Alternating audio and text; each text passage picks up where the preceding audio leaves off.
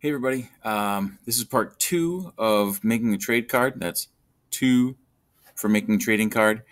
And uh, if you haven't watched part one yet, definitely check that out first so you can see how to get started. Hopefully this will get you uh, to a really cool custom trading card. All right, let's see how to do it. Okay, so where we left off, we were just adjusting the text and stuff. And you can always go back and add more or change it but I want to show you how to crop your photo. So uh, one way to do it is to double click on the image and then this black border comes up. Then you can grab onto this, the handles and just, what's happening is I'm cutting out parts of the photo. It just makes it look a little bit nicer. And it also makes it so I can make it bigger. I can fit it into this space. So then it looks a little bit more like one of those trading cards from, you know, like baseball or basketball trading card or whatever. All right, so that's cool. But you can also, it says you can add borders. So I'm going to change the border weight to 12. Ooh, that's nice. I'm going to use my arrows to make it a little bit lower.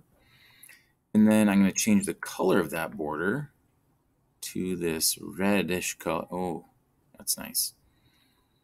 Then I'm going to do this thing called format options where I'll put a drop shadow on there so it looks like it's really cool.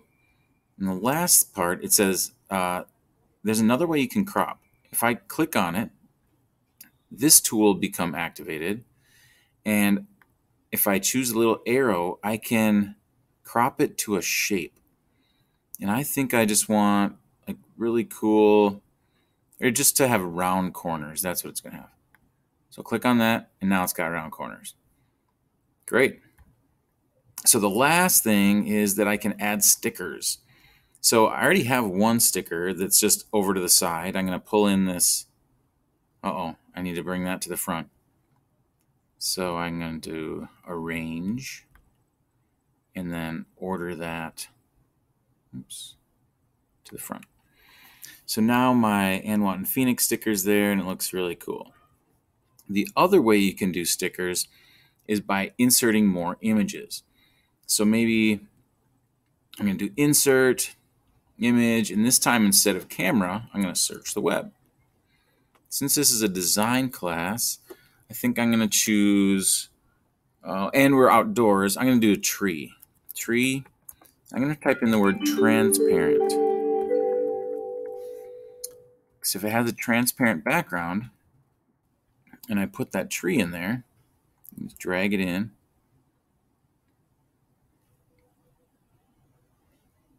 now it won't have a white background where it would like really cover up my uh, face and all this stuff.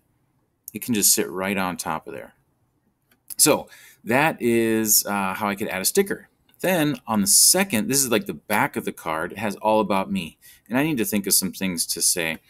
Um, I love being outside, period. I have a wife and three boys. And one more. Um, I am a teacher. I don't know. I just did those off the top of my head. But I'm going to fill in these three sections and then I can do the adjustments, the colors, all that same stuff, background, customized with stickers to make it a really cool card. All right, everybody, uh, do the best you can. Help each other out. And of course, I'll be here too, but ask your neighbors for help and look at these videos. They will guide you along. All right. See you later. Have a great time.